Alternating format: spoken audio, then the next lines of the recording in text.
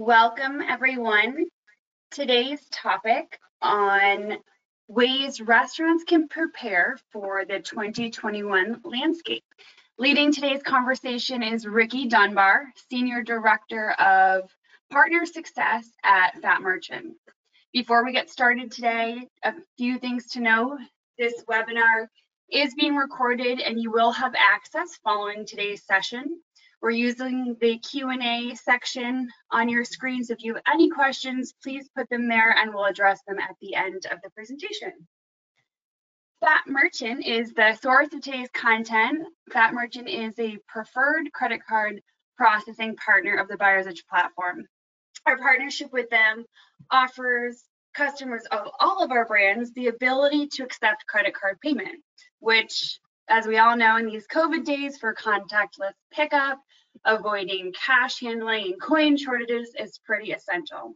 So signing up for Fattmerchant as a customer of the Buyer's Edge platform brands allows you to choose a processor with no contract, no markup, and a vendor that is really easy to work with and will provide 24-7 real human customer support and a direct point of contact for escalating any issues that you have and lets you keep more of your money so that you can stop worrying about your credit card processor. Um, I'd now like to introduce you to our host, Ricky Dunbar. He has built his career of nearly two decades crafting successful long-term partnerships with a wide range of experience covering revenue management, financial modeling, to e-commerce sales, system integration, customer loyalty, and brand advocacy. He's forged partnerships with leading companies covering a broad spectrum of industries and verticals, and holds a degree in both economics and political science from University of Central Florida. And what I feel is the coolest thing about him is that he enjoys spending his free time learning all of life's most important skills from his wife and two young children. With that, I will turn it over to you, Ricky, to talk to us about the ways restaurants can prepare for this 2021 landscape. Well, Jen, thank you so much for the intro. That was uh, was a glowing intro, so I appreciate that. Um, and I also wanted to say thanks to all the folks at the Buyer's Edge platform for um, allowing this opportunity to uh, present to all of you folks today. Um, so let's go ahead and dive in. Um, you know, the, the largest determining factor to what 2021 is really going to look like currently at least is the the ongoing COVID-19 pandemic, right? Pretty pretty obvious, pretty straightforward. Um, really good news though this week um, uh, was that uh, Pfizer and a couple other drug companies have announced that they've made some uh, really incredible progress on a vaccine. So that's that's great. That um, that news is really just a couple of days old. Um, so I'm sure most of you heard about that by now, but that is something to be very excited about for 2021. Um, there are a lot of logistical challenges that still need to be cleared. You know, there's issues with adoption, availability, um, foreign travel, and of course the the continued spread of the virus. So the bottom line is that it's not going anywhere in the foreseeable future. So having a plan in place now is going to be really crucial to your uh, business survivability going into the new year. And that's what we wanted to focus on today is how can we best equip um, restaurant operators, and when I say restaurants, of course, I mean, you know, bars and, and all, all the stuff that kind of fits into that macro category. But how can we best be prepared for what 2021 is going to look like when there are still a lot of unknowns in the world right now? So, you know, perspective really helps. I kind of like to, to, to lay the groundwork and give you some foundation first before we really dig into uh, into the meat of what we've prepped for for today. Um, so let's take a quick look at some numbers um, after we've had many months now of pandemic living um, under our belts and we can kind of uh, you know look back and make some sense of things. Um, first off, experts have said that about 40% of restaurants across the country um, could still close due to the pandemic. So a lot of folks are still open. I know a lot of the restaurants in my neighborhood are are still uh, they're still doing well. They're of course not as as well as they would be otherwise, but they're still open. They're still taking business. That's great. Um, but that sort of looming threat of what could happen is still there for a lot of these folks.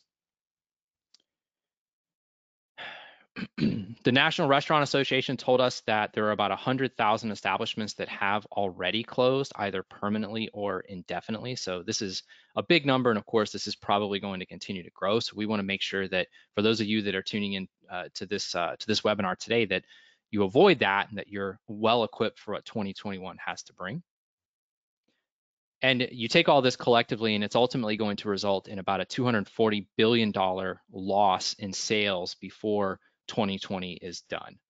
Now, it's a huge industry. It's a it's a very lucrative industry.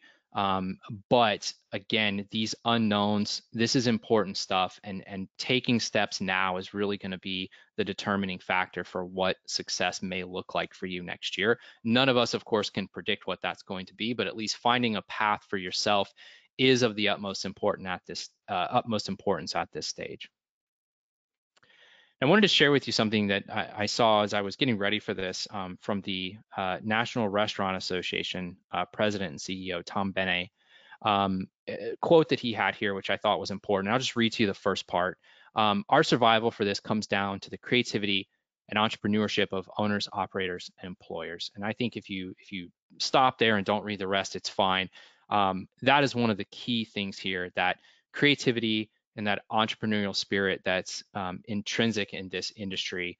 Um, that is really what is helping folks survive. You know, the beauty of this industry is that there are so many things that you can do to surprise and delight guests, um, and that stuff, uh, especially today, really stands out. You know, pe people are talking more and more about those experiences that resonate with them, and the types of things that they're that they're seeing, feeling, um, when they go out to eat or even if they're just doing carry out and those types of things. So all the stuff we're going to talk about today, some of these things are just sort of micro level tactics that you can do, but they're they're they mean a lot. They mean a lot more. They you know you're kind of over indexing from where these things um, you know would have moved the needle in, in times past under different circumstances. So just bear that in mind as we go through this. So how are restaurant owners and operators surviving today and what uh, can we take and apply from those techniques and those tactics to kind of better future proof uh, your business? Um, so today we're going to kind of go into four different categories over the next few minutes, and those are going to cover uh, digital reservations and check-in. Um, we're going to talk a little bit about what uh, contactless restaurant menus, how folks are implementing those, and, and what the feedback has been on that. Um, naturally, we're we're a payments processor, so we're going to spend some time talking about um, how important payments are in that system. And then, of course, uh, one of my favorites, which is uh, curbside pickup. We'll spend some time digging into this as well and some best practices that you can implement if you haven't already at your restaurant.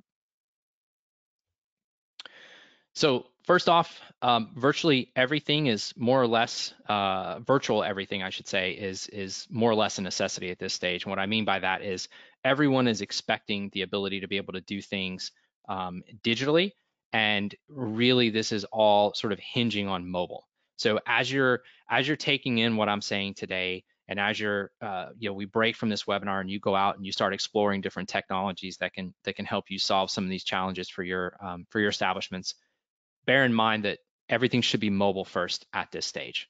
Um, we were we were well into that trend uh, coming into 2020. You know we had become uh, from a global standpoint a a mobile first society, but what the coronavirus, the COVID pandemic really did was it catalyzed that, it accelerated that and said, okay, if you're not this today, you're probably not going to be here tomorrow. And today and tomorrow are much shorter timeline than they might have been prior to that.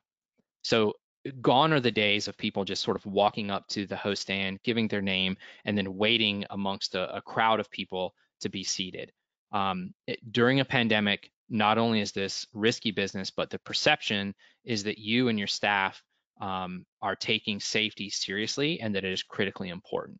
So if you're doing digital reservations, that's going to stand out more. If you accept reservations, that's going to stand out more. And you certainly don't want people gathering in these large groups because others may see that and it may turn them away. They may see these large lines or just bunches of people and say, you know what, that's not really for me. I'm going to go someplace else. The likelihood of them coming back, they're always going to have that memory and you don't want to create that experience for them. Um, if you haven't already, uh, you know, research the technology that you're that's needed for you to um, accept online reservations and plan to do so again with mobile in mind. That's going to be you know, critically important. Consumers are still out and about. It's good news. They're still out. They're still moving around. They're still traveling. Um, mobile is the current state of commerce. So just bear that in mind. Um, with that said, a virtual wait list has actually been really helpful for a lot of the restaurants that we've talked to, helping them organize reservations while giving you, the operator, the ability to send mobile alerts to the customer when their table is ready. So I remember back in the day, I, I, worked in restaurants a long time ago, and we we had the pager system. And the first thing that somebody would ask when we handed them a pager is, "How far can I go with this?" And we had to kind of describe. You couldn't say, "Well, go 100 feet or 200 feet." We had to say, "Well, you can go over the T-shirt store, but you know, don't go against the the far wall in the T-shirt store because then it won't work anymore." Um, that's kind of over now. Um, everything can be done via mobile um, with uh, SMS and, and other technologies. It just makes this easier, and it's so much more convenient for the for the guest because they can just move around and sort of sort of do their thing freely now.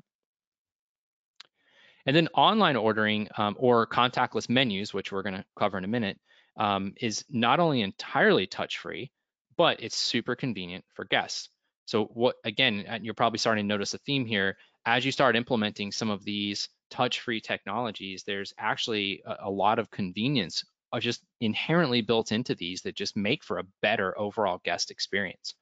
So with online ordering, you're you're allowing them the ability to order in advance and then dine in. It's a fantastic option. You're able to collect payment at time of ordering, so you're not running the risk of losing money with with no-shows. And for someone like me, I have two young kids. Being able to have food ready sooner is always going to be a win. You know, we're um, we're based in Orlando, and so we go to Disney. Having two young kids, we go to Disney quite a bit. And a few years back, Disney implemented mobile ordering. And I can tell you, initially they didn't really advertise it because they were they were just you know hoping a few people would use it here and there just to test it out. But we started using it right away, and it completely changed the dining experience at Disney. It went from something where we're like, should we just pack lunch because we don't want to deal with it or it's expensive to I don't really mind how much it costs anymore because now it's so fast, so easy, so convenient, and I can do it when I'm getting off the ride. By the time I get to the restaurant, my food's already ready for me and I can put it in front of my kids and we're good to go. So this is great technology. Um, it's already out there. It existed before the pandemic. Now's a really good time to look at that and see if it's a good fit for your business. All right, contactless restaurant menus. Um, you know, as I just mentioned, uh, mobile rules the world, but perception is equally important. So I've spoken to some restaurant operators that have said that utilization of these online menus or these contactless menus has not been especially high. However, the feedback from guests that because they had them has been overwhelmingly positive. And so that's what I mean about the importance of perspective versus, you know, just the the other intrinsic benefits of having this technology. Um, guests are saying that they appreciate the steps that the restaurant is taking to keep them safe and uh, it's very clear to them that they care about providing a clean environment for them to be able to eat. Um, QR codes have kind of been the standard go-to for this sort of thing. It's very simple technology to implement. What you see in the image right here is, is it. You can literally have a QR code created. You can print it on a piece of paper or a sticker, put your branding on it, stick it down on the table or at the host stand, and you're good to go. It's literally that easy. Um, you probably don't even need to pay to have this, to be quite frank, because QR technology, QR code technology has been around for so long. Um, so do your homework on this, but this could be one of those quick and easy takeaways uh, from this webinar that you guys could do today and and and um, you know score some points right away. Um, for the guests, it's great because they walk in, they order, they pay, they sit down. In in this case, it's actually at the table, so that's another option for you. This eliminates a ton of physical touch points, and that in turn significantly reduces risk during a pandemic like we're facing now. It also, going back to perception, reinforces a, a healthy and safety conscious environment that is so important for people to see and experience today. Um, and the last, and this is just kind of a, a nice little bonus for you, is that digital menus are pretty quick and easy to update. So if you change anything on your menu, you add, you take away, you change ingredients, you add nutrition facts, whatever it may be. Um, it's a lot easier to do with a digital menu and a lot cheaper than it is if you have to go and print a whole bunch of new menus um, in the process. All right, so let's talk about payments. Um, contactless payments are something that uh, was gaining transaction before COVID kicked in, but as I mentioned before, COVID has really been a catalyst for this technology. That initial popularity, though, pre pre pandemic, was due in large part to the ease and simplicity of contactless payment. So again, like I said a minute ago, it, it all comes back to just a better guest experience. So um, there's a number of different ways that this can work. People can pay via text messaging or using touch-free devices, which is both speedy and efficient. Um, then you add in the benefit of keeping things sanitary, and it's it's a win across the board. Once an order is confirmed, you're able to send out a payment link to your guest's smartphone where they can pay their check and still be able to tip their server. So as you're taking all this in, you're thinking about you know where you can make changes in your restaurant or bar. This is a big one and one that we can most certainly help you with and so can the uh, the folks at, at uh, buyers edge platform. So just kind of keep that in mind. Now onto one of my favorites and I, I i never knew how much i love this until i had to do it and that's curbside pickup uh, this has been, in my opinion, you may, as operators, you may disagree, but in my opinion, as a guest, this has been one of the coolest things to happen as a result of the pandemic. Um, I was never a big fan of carryout. I, I always wanted to dine in. But then my wife and I had kids, and that kind of changed our perspective on things. So we still enjoy being able to dine in. We still enjoy the uh, restaurant, uh, the the restaurant experience, the dining room experience.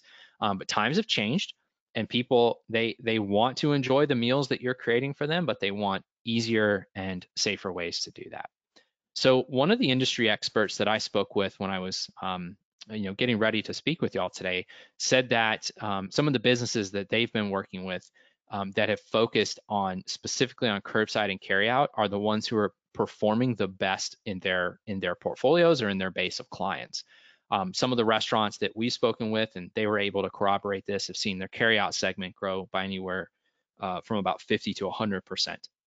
Um, and this includes uh, restaurants that were already very heavy in carryout. So this is pretty consistent across the board.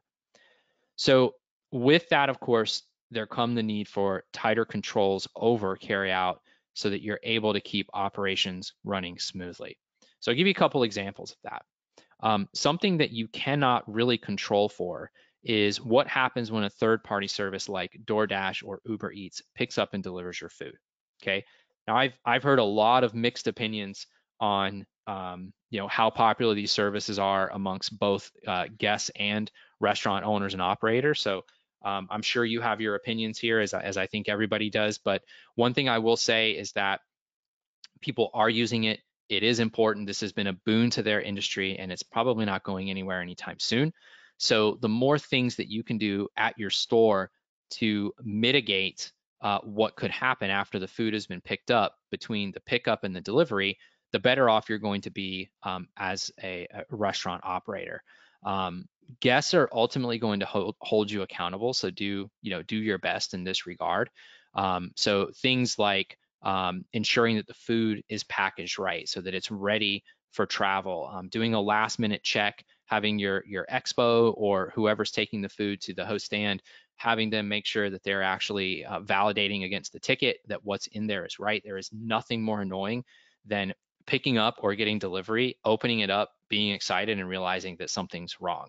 Um, I ordered um, I ordered from a taco place a couple weeks ago. Hadn't eaten there since the pandemic started. Used to eat there about once a month, and I ordered a, a beef taco, sorry, a steak taco, and um, uh, sorry, a steak burrito. And when I got, uh, I went and picked it up, and when I got home and opened it up, it was literally a tortilla with uh, steak on it. Nothing else. No, no, uh, no cheese. Nothing that you would expect in a burrito was there. And I'm like, how how does something like this even happen? This doesn't make sense. And surprise, surprise, of course, you know, we haven't been back there since and probably won't go back again. Um, another story I can share with you, and this is more in a positive light, is um, we have a few Chick-fil-A's here near us. We're in the South, so they're they're quite common down here, but we have a few Chick-fil-A's near us. And I got to tell you, when this whole pandemic thing kicked off and uh, there was shutdown orders and the restaurants were allowed to do carryout, Chick-fil-A was the fastest to get it right.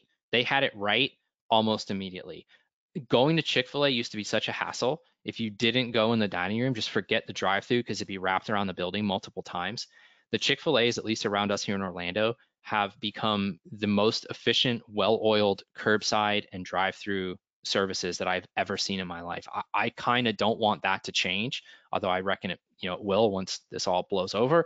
Um, but anytime I'm talking to a restaurant, I reference to what I see at Chick-fil-A and I say, hey, these guys have got it figured out. They have dedicated the staff, they've dedicated the training, they've invested in the technology, they've done things in the drive-through that add convenience, putting tents over things so that the rain doesn't affect them, just a million little things that all add up and you're in and out of there in a heartbeat and you don't have to touch a single person or be that close to a single person the entire time that you're there. Um, really, really nice protocol that they've implemented.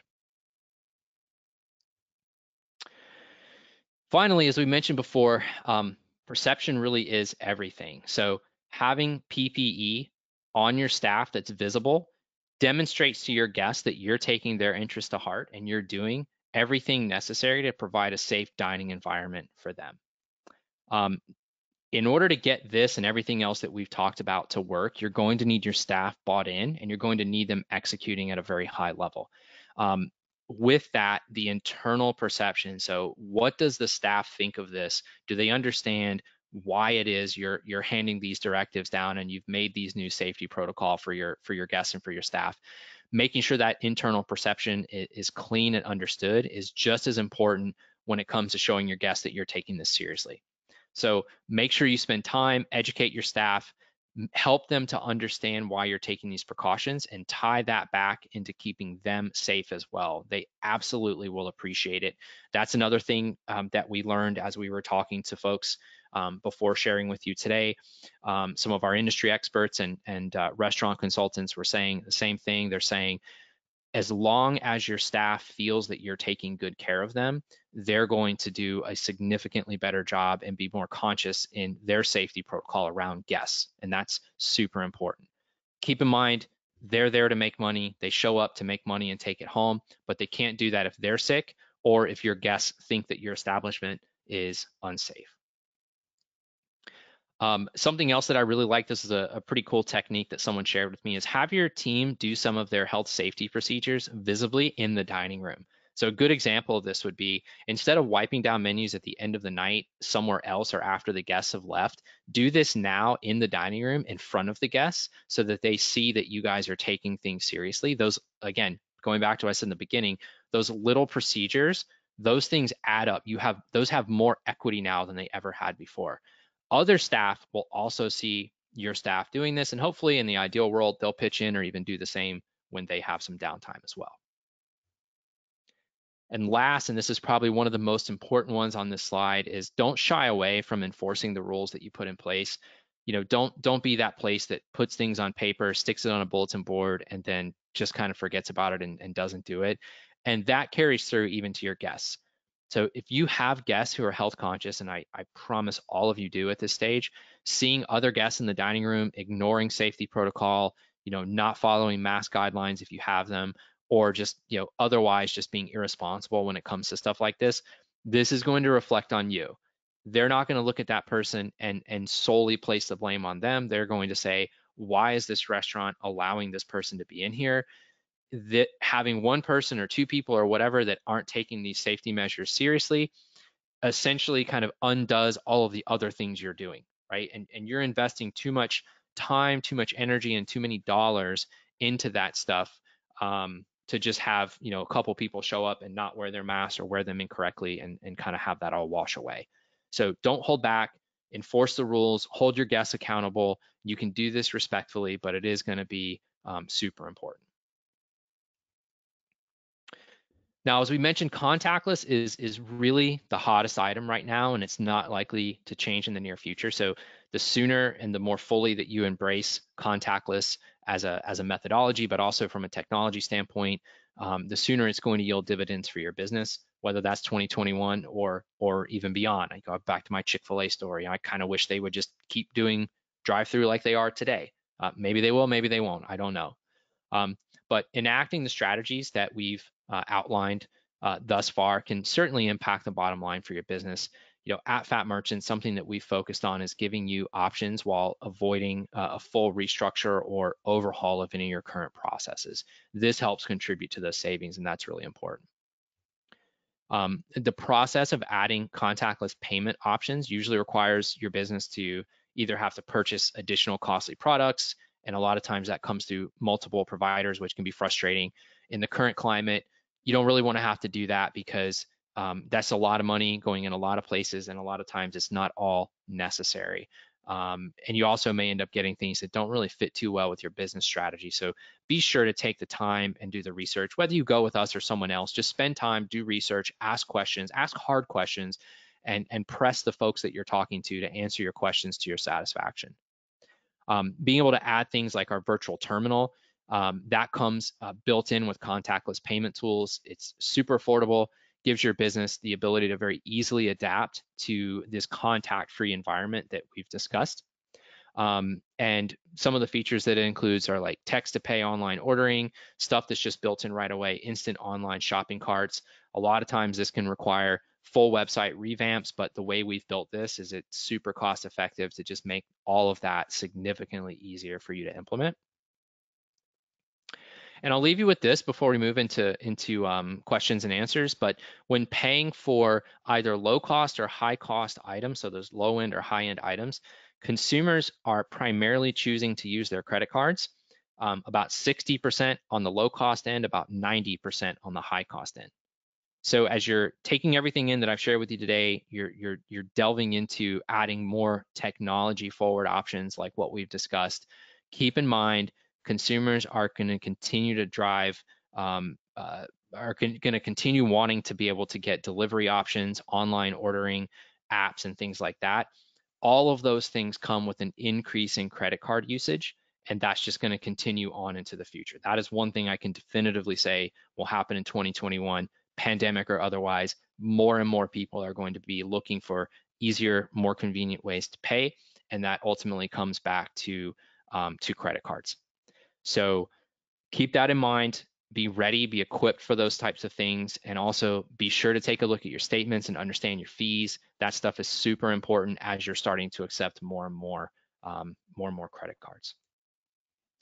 So with that, I'm going to wrap up and we can go ahead and start uh, taking questions. I wanted to say thank you all so much for your time, and I sincerely hope that this has been helpful for you.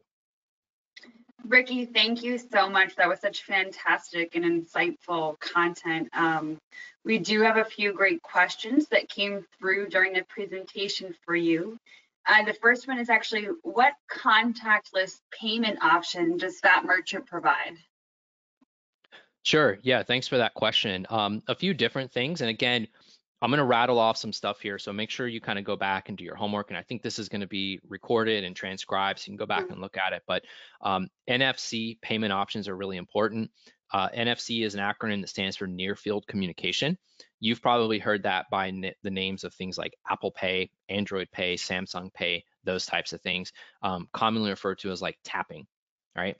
Um, so that's built in. Um, text to pay is a huge one. This one has been just incredibly popular. Um, I use this a lot. I love being able to get um, uh, payment links via text to go ahead and pay. It's just so much easier. Um, email invoicing, uh, a virtual portal for keyed in payments. Again, something that only your team needs to touch. The guest doesn't have to do that. Um, we offer touch-free contactless terminals. And also, as I mentioned before, a, a one-click, very easy to implement online shopping cart. So there, there's a lot of stuff there. There's a lot to unpack. So again, definitely do your homework on those things. That's great. I can say I personally love text to pay as well. um, it's awesome. Yeah. The next question is, how does Fattmerchant pricing model work, and how does it save up to 40% a month? Yeah, no problem. Um, so uh, if you if you don't understand how um, the the cost of pro, um, uh, credit card processing works, that is something you definitely want to get a handle on. And we could uh, literally spend an entire webinar just talking about that. So I won't get into the details of that, but I'll explain how our model works. Um, we pass on the direct cost of interchange. Interchange is what the card brands charge. Um, so those are Visa, MasterCard, Discover, and American Express. Those are the four credit card brands. If you hear of other types of credit cards, they're all uh, some derivative of those, uh, one of those four brands. Um, interchange is the fee that they pass on. There's nothing you can do about that. There's nothing we can do about that. That's just the cost of being able to accept those types of credit cards. So we pass that on. Um, however, where we're different is that we don't uh, we don't build a markup into that at all. So that's where the savings come in. So we pass on interchange, which again, no one can do anything about that. And then um, we're a subscription-based uh, service. So you pay us as little as uh, $79 a month, which is a special price for for Buyers Edge members. Um, $79 a month, and then that scales with your business. So as your business grows, as you accept more and more digital payments, um, that subscription gradually increases, but always at a rate that's commensurate with how your business is growing. So you're never gonna, um, you know, those savings that you get, you're always gonna continue those on. You're never going to be paying more um, than you would be with other providers as a result. Great, thank you for that. Um, we've got one more question here, and that's actually what is the process to get signed up with Fattmerchant? Yeah, so um, best thing to do is uh, we'll get a link posted up here. I'm not sure if um, if you can do that. If not, I can probably do that. But we'll get a link posted up here, which is the easiest way to do that. Um, and then once you go into that link, just drop in a little bit of information, and then you'll speak to one of our payment consultants. Um, we call them payment consultants because their their primary job is to understand you and your business and kind of what your needs are, and then that way they can help craft a, a payment solution specific for your business. So we talked about a lot of different solutions today that might be good for you. Some might not be. Their job is to understand your business, understand your guests, and then say, hey, I think this is what would work best for you based on what you've told me, and here's how these things would work, and here's what those things would cost. So um, that's how you do it. Um, like I said before, we'll get that link posted up, and I'm sure that'll be included in uh, any of the follow-up items that go out after this. Yes, um, I actually just put those in the chat feature, and they absolutely will be in the follow-up process. Awesome. Ricky, thank you so much for sharing all of this knowledge and insight. It takes all of us to kind of partner together to navigate this new um, world for our operators. So we really appreciate having you here today and anyone that took the time to um, attend. And if anyone has, um, we said had questions, please feel free to reach out um, to us and we'll put you in contact with Ricky and Fattmerchant if you're looking for life lessons about what he's gained from his children, as we mentioned at the beginning, or just on Fattmerchant. We have a lot of new information to share. Um, so we'll be sending a follow-up email that includes this recording, um, as well as some easy ways for you guys to get into contact with us if you want to get a little bit more information, because there's a lot to digest here, but we'll certainly make it easy for you. Um, so that's all we have for today. But again, thank you everyone for joining us. Thank you.